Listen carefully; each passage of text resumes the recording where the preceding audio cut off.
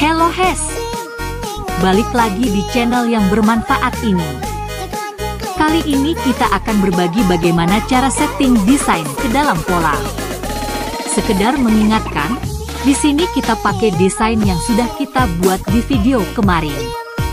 Yaitu jersey gaming Mobile Legend ya guys ya. Nah lanjut aja ke tutorialnya. Pertama, siapkan bahan editing terlebih dahulu. Apa saja sih bahan-bahannya? Oke, bahan yang harus kalian siapkan adalah Yang pertama, yaitu desain utama ya Gesha. Desain yang sudah kita buat di video sebelumnya. Next adalah pola potong. Untuk pola potong, kalian bisa cari di Google aja ya Gesha. Di sini kita sudah siapkan pola potong jenis V-neck kita pakai yang size standar, yaitu size L. Lanjut, yang terakhir adalah proses sentuhan akhirnya ya Gesha.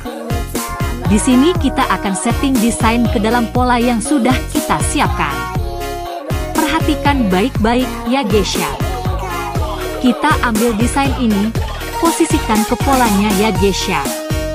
Caranya klik desain, tekan tombol shift, klik pola, lalu klik tombol C dan E di keyboard. Dan hasilnya seperti ini. Nah, langkah selanjutnya adalah sesuaikan ukuran desain ini dengan pola ya Gesha. Caranya tinggal diperbesar aja guys.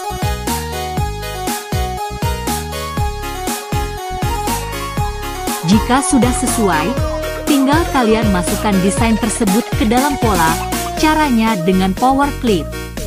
Geser, Klik kanan mouse, pilih Power Clip Inside, arahkan ke pola. Untuk bagian belakangnya, kalian copy dulu desain tadi, langsung di mirror. Terus masukin ke pola bagian belakangnya. Caranya sama kok.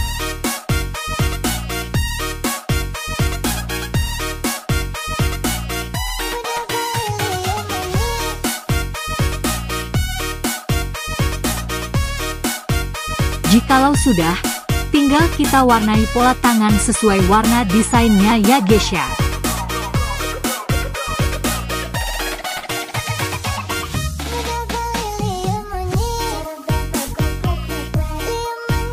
Seperti ini ya Gesha. Nah, selanjutnya, tinggal tambahkan nama player dengan logonya ya Gesha. Caranya seperti ini guys. Tinggal sesuaikan aja ukurannya.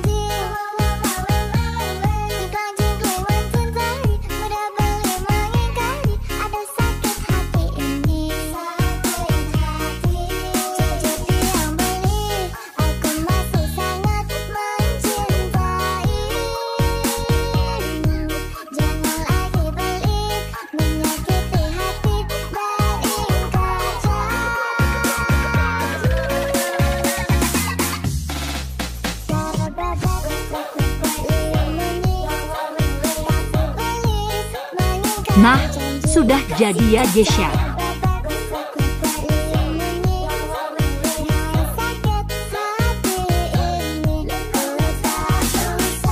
Tinggal kalian ekspor ke JPG atau PDF untuk di print nantinya ya Gesha.